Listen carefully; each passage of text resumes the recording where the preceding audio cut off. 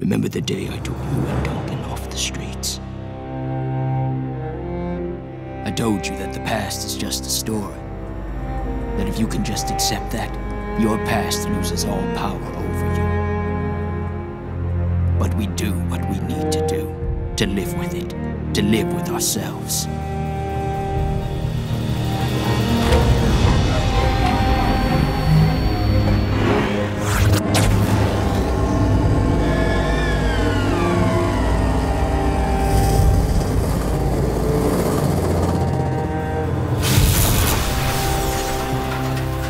Either way, it's over now. I have you to thank for that.